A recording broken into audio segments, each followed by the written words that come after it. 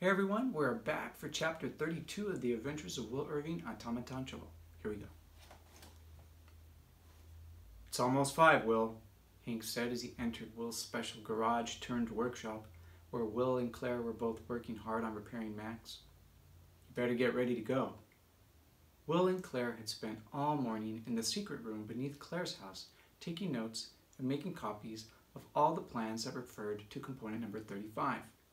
Once they had finished, they returned to Will's house to begin repairing Max, bringing with them a variety of materials and pieces of equipment that they thought might prove useful in the process.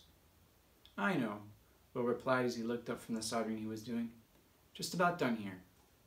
Will finished his work, set down his soldering iron, and stood up. Claire left her place on the opposite side of the large table where Max's body lay and came close to Will. I'll see you guys when you get home. Claire said cheerfully as she gave Will a hug and a kiss on the cheek.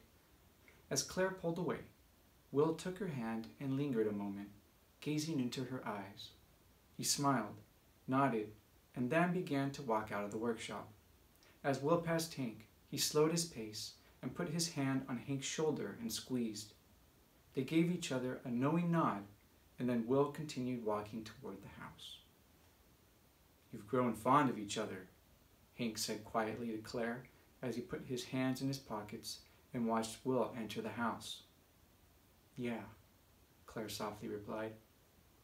I don't blame you, Hank continued. You're both great. Claire walked over and stood next to Hank. I love him like a son, Hank said warmly.